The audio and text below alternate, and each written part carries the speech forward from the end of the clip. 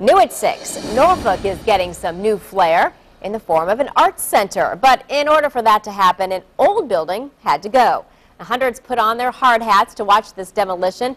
As 10 on your side's Joel Hilton reports, the new facility will benefit both students and the whole community.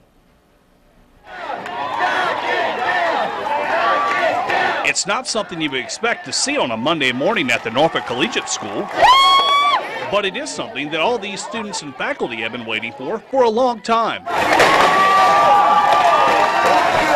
It's demolition day, and these 400 students are here to make sure it's out with the old and in with the school's new $8.5 million Center for the Arts. It's very important that our student body is, is involved in this because this is for the students. A new facility with funding from school supporters and donors brings new classrooms, a chorus room, two art galleries, and a 425 seat professional theater just to start. There are going to be dance rooms, there are going to be um, like studios for the computers, um, there are going to be humongous stage. You could say all this excitement is just for the fun of education, right? well, that's only part of it. Norfolk Collegiate also wants to lend a helping hand to the city it has called home since the late 1940s. This facility, I think, is one of the things that might help revitalize Ward's Corner.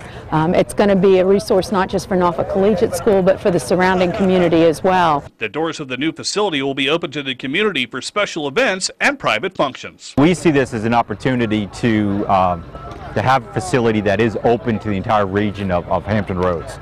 But these kids will tell you the sooner these old buildings come down, the sooner they will be able to use their excitement to focus on their future. And for our kids, the impact it's going to have on our arts programs, fine arts, performing arts, communication arts, is really significant. More space, better equipment, and a chance to really be the professionals they're learning to be. In Norfolk, Joel Hilton, 10 on your side. And officials hope to have that new Center for the Arts open sometime in spring of 2013.